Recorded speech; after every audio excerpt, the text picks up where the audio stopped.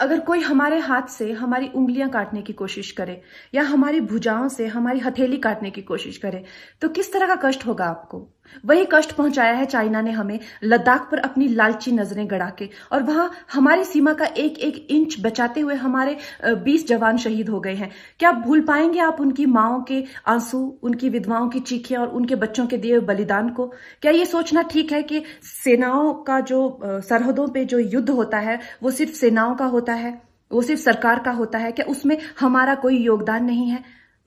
क्या हम भूल गए वो वक्त जब महात्मा गांधी जी ने कहा था, अगर अंग्रेज़ों की रीढ़ तोड़नी है भारत में तो उनके बनाए हुए हर उत्पादन का बहिष्कार करना पड़ेगा तो क्या ये ज़रूरी नहीं है कि हम भी इस युद्ध युद्ध में हिस्सा लें? क्योंकि लद्दाख सिर्फ़ एक ज़मीन का टुकड़ा नहीं है, भारत की अस्मिता का एक बहुत बड़ा हिस्सा है।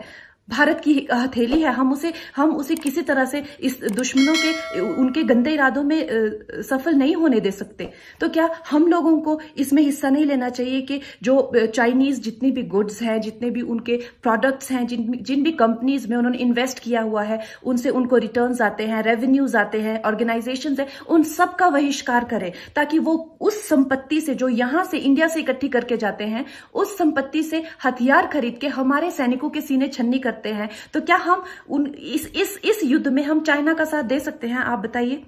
ये क्या हमारा कर्तव्य नहीं है कि हम अपनी सेनाओं का और अपने सरकार का साथ दें? तो हमें प्रतिज्ञा लेते हैं कि हम आत्मनिर्भर बनेंगे और चाइनीज़ गुड्स को बिल्कुल बॉयकॉट करेंगे और इस युद्ध में हिस्सा लेके भारत को जिताएँगे।